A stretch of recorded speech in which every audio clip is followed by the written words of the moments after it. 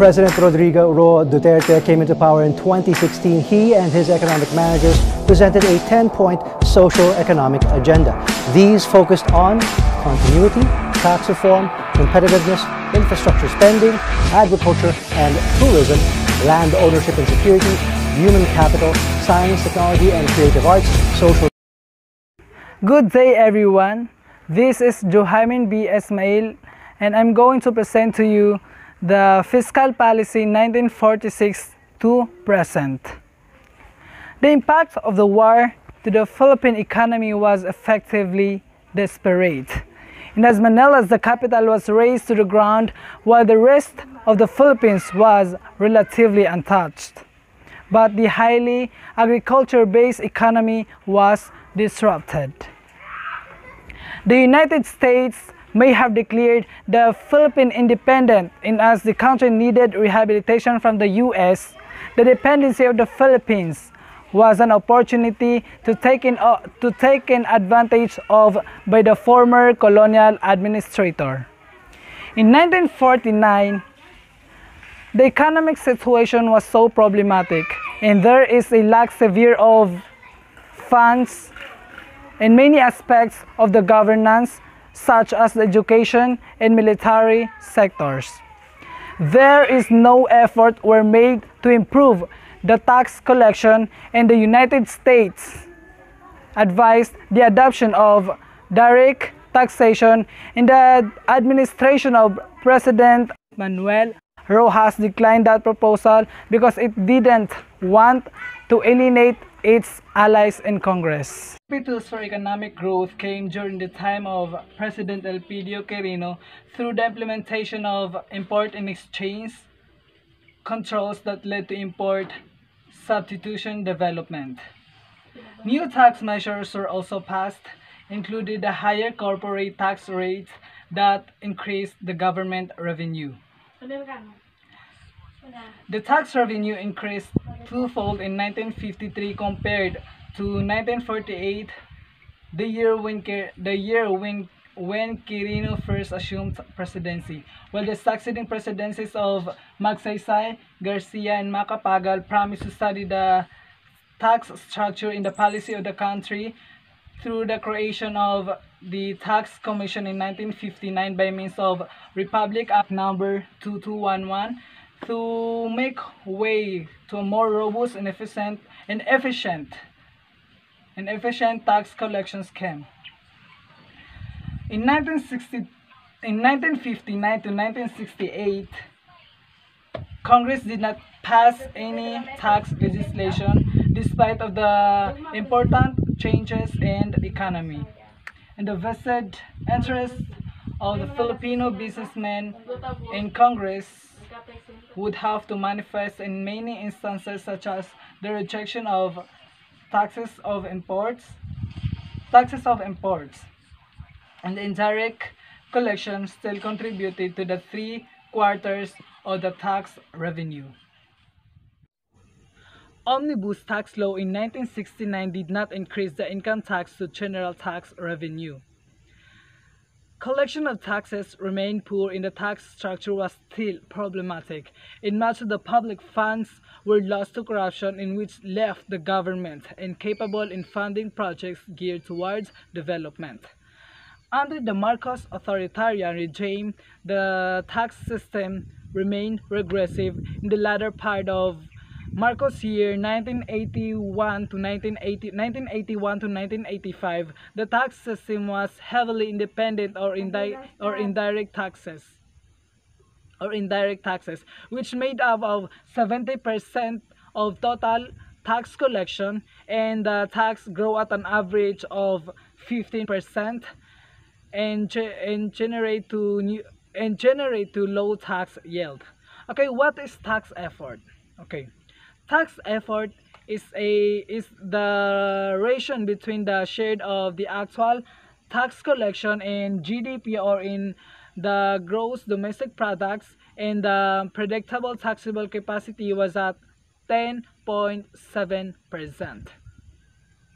As Corazon Aquino took the helm of the government, the EDSA revolution, she reformed the tax system through the 1986 tax reform program and the aim was to improve the responsiveness of the tax system and to promote equity, promote growth by withdrawing or modifying taxes and to reduce incentive to work and to produce and to and to improve the tax administration as well.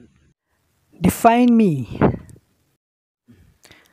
Fiscal policy is guiding force that helps the government decide how much money it should spend to support the economic activity.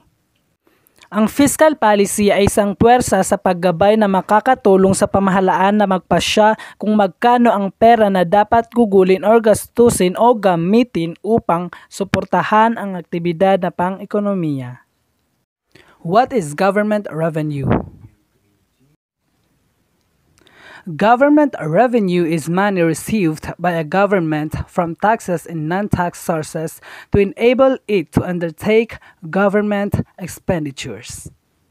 Ang government revenue ay pera na natanggap ng isang gobyerno mula sa buwis at mga mapagkukunan na hindi buwis upang magsagawa ng mga paggasta ng gobyerno o yung mga expenses, expenditures ng gobyerno.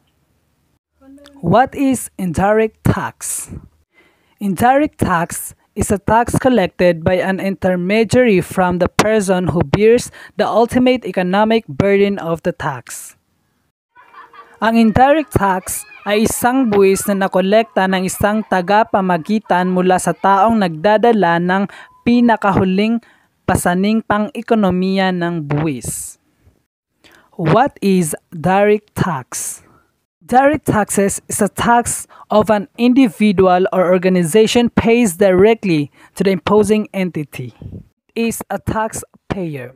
For example, pays direct taxes to the government for different purposes, including real property tax, personal property tax, income tax, or taxes on assets. Quick review. Ang epekto ng digmaan sa ekonomiya ng Pilipinas ay mabisa kung saan nagkaroon ng problema sa usaping pang-ekonomiya noong 1949. Nagkaroon ng matinding kawalan ng pondo sa iba't ibang aspeto ng uh, pamahalaan tulad ng sektor ng military at ng edukasyon.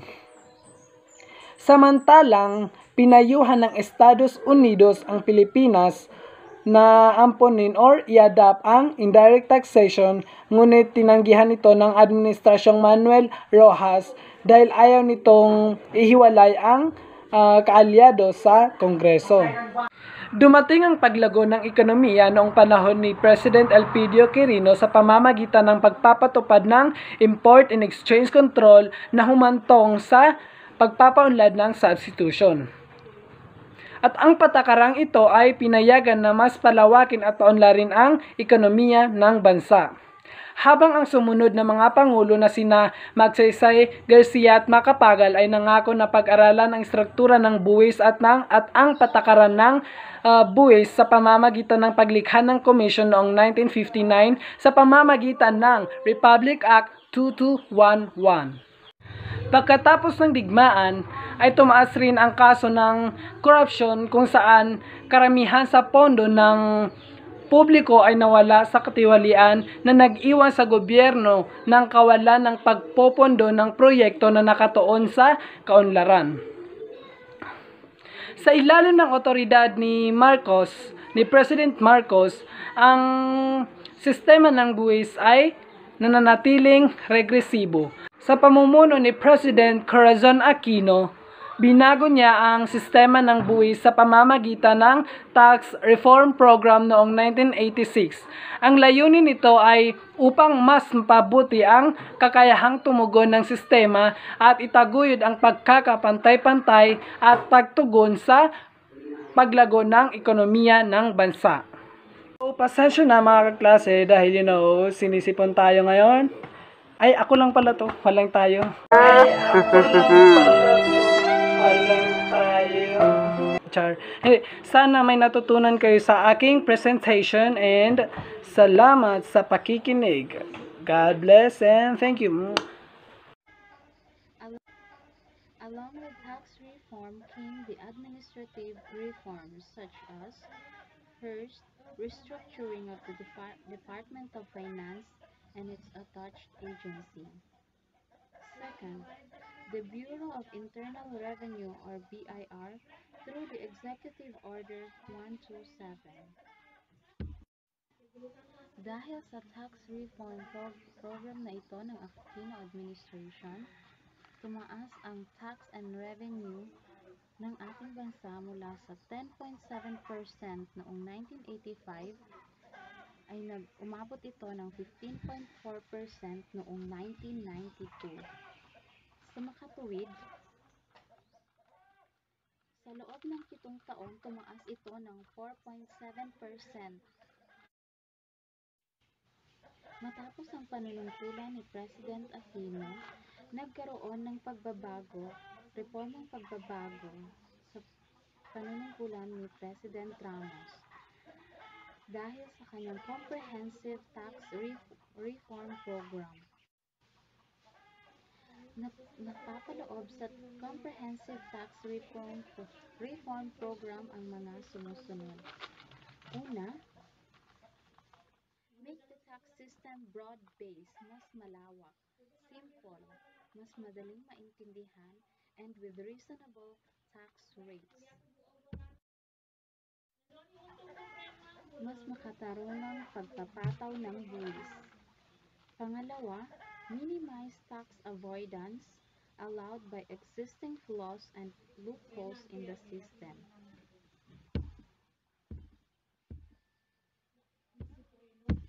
Pangatlo, encourage payments by increasing tax exemptions levels, lowering the highest tax rates, and simplifying procedures.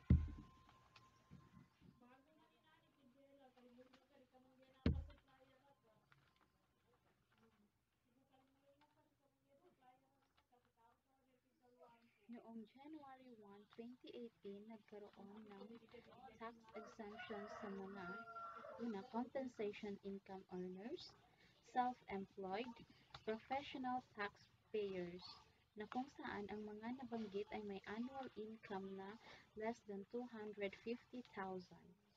They are exempted from PIT or personal income tax. Number 4, rationalize the grant of tax incentives, which was estimated to be worth 531.7 billion pesos in 1994.